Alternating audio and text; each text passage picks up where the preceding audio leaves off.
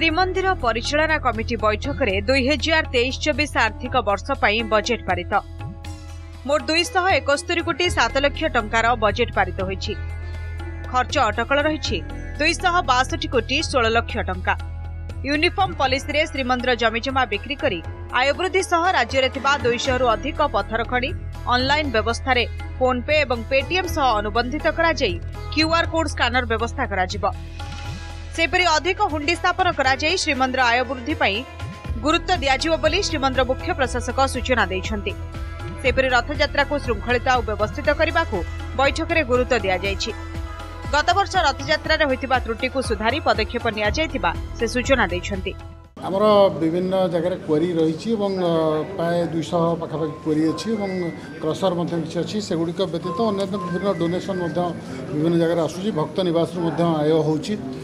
ତା ବ୍ୟତୀତ ଆମର ଅ, ଖର୍ଚ୍ଚରେ ଏ ବର୍ଷ ଦୁଇଶହ ବାଷଠି କୋଟି ଟଙ୍କା ଯେଉଁ ଷୋହଳ ଲକ୍ଷ ରଖାଯାଇଛି ସେଥିରେ ମୁଖ୍ୟତଃ ସ୍ନାନଯାତ୍ରା ରଥଯାତ୍ରା ଶ୍ରୀମନ୍ଦିରର ବିଭିନ୍ନ ପର୍ବପର୍ବାଣୀ ରୀତିନୀତି ପାଳିଆ ସେବକମାନଙ୍କୁ ଯେଉଁ ତାଙ୍କର ଉଁ, ପ୍ରାପ୍ୟ ପ୍ରଦାନ ଏବଂ ବିଭିନ୍ନ ଭକ୍ତ ନିବାସ ଗୁଡ଼ିକ ରହିଛି ତା'ର ମେଣ୍ଟେନାନ୍ସ ଅପରେସନ୍ ଅ, ତାପରେ ସେବକ ୱେଲଫେୟାର ଇତ୍ୟାଦି ବହୁତ ଗୁଡ଼ିଏ କାର୍ଯ୍ୟକ୍ରମ ରହିଛି।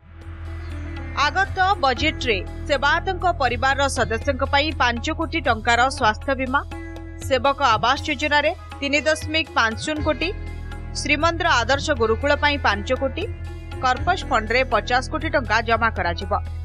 ବିଭିନ୍ନ ଜିଲ୍ଲାରେ ଥିବା ଖଣିରୁ ତିରିଶ କୋଟି ହୁଣ୍ଡି ଓ ଡୋନେସନ ବାବଦରେ ଛତିଶ କୋଟି କର୍ପସ ଫଣ୍ଡ ସୁଧରୁ ଷାଠିଏ କୋଟି ଟଙ୍କା ଓ ଜମି ଅଧିଗ୍ରହଣ ଓ ଜମି ବିକ୍ରିବଟା ବାବଦରେ ପଚାଶ କୋଟି ଟଙ୍କା ଆୟ କରାଯାଇଛି। ରଥଯାତ୍ରା ପୂର୍ବରୁ ଶ୍ରୀମନ୍ଦିର ଯାତ୍ରୀ ପରିକ୍ରମା ପ୍ରକଳ୍ପ ସାରିବା ଏକ ପ୍ରମୁଖ ଚ୍ୟାଲେଞ୍ଜ ଥିବାବେଳେ ଏବେ ସୁଦ୍ଧା ବାହ୍ୟ ପରିକ୍ରମା ପ୍ରକଳ୍ପ କାର୍ଯ୍ୟ ଦୁଇ ଦିନ ଭିତରେ ଶେଷ ହେବ। ବାହ୍ୟ ପରିକ୍ରମା ପ୍ରକଳ୍ପର ଛଅ ମିଟର ପରିଧି ମଧ୍ୟରେ ଭକ୍ତ ଓ ସେବାୟତଙ୍କ ପ୍ରବେଶ ନେଇ ବ୍ୟବସ୍ଥା ହୋଇଛି। ଏବେ ଏହାଦ୍ୱାରା ରଥଯାତ୍ରା ସମୟରେ ଅସୁବିଧା ସୃଷ୍ଟି ହୋଇପାରେ ବୋଲି ଶ୍ରୀମନ୍ଦିର ପରିଚାଳନା କମିଟି ସଦସ୍ୟ କହିଛନ୍ତି। ପଶ୍ଚିମ ଦକ୍ଷିଣ ଓ ଉତ୍ତର ଦ୍ୱାରରେ କାର୍ଯ୍ୟ ଶେଷ ନେଇ ପ୍ରତିଶ୍ରୁତି ଦିଆଯାଇଥିଲେ ମଧ୍ୟ ଏନେଇ ସନ୍ଦେହ ସୃଷ୍ଟି କରିଛନ୍ତି ପରିଚାଳନା କମିଟିର ସଦସ୍ୟ। ତେବେ ଆଗାମୀ ପନ୍ଦର ତାରିଖ ସୁଦ୍ଧା ଭକ୍ତଙ୍କ ପାଇଁ ତଥା ଶ୍ରଦ୍ଧାଳୁଙ୍କ ପାଇଁ ସର୍ବନିମ୍ନ ସୁବିଧା ଶେଷ କରି ହସ୍ତାନ୍ତର କରାଯିବ ଅନୁମୋଦିତ ବଜେଟ୍ରେ ସେବକ ଆବାସ ଯୋଜନା ଆଦର୍ଶ ଗୁରୁକୁଳ ରଥଯାତ୍ରା ଖର୍ଚ୍ଚକୁ ପ୍ରାଥମିକତା ଦିଆଯାଇଛି।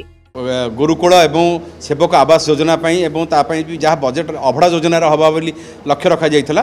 କିନ୍ତୁ ଆଜି ସଭ୍ୟମାନଙ୍କର ଉଦ୍ବେଦକୁ ପ୍ରକାଶ ପାଇଲା ଯେ ଏଇଟା କେମିତି ତୁରନ୍ତ ହେବ ଏବଂ ଚଳିତ ମ୍ୟାନେଜିଂ ଯେଉଁ ବୋର୍ଡ଼ ଅଛି ସେଇଟା ନୂତନ ଆସିବା ପୂର୍ବରୁ କେମିତି ଏଇ ବୋର୍ଡ଼ରେ ହିଁ ସେଇଟା କାମ ଆଗ ଆରମ୍ଭ କରାଯିବ ତାରି ଉପରେ ଆଲୋକପାତ କରାଗଲା।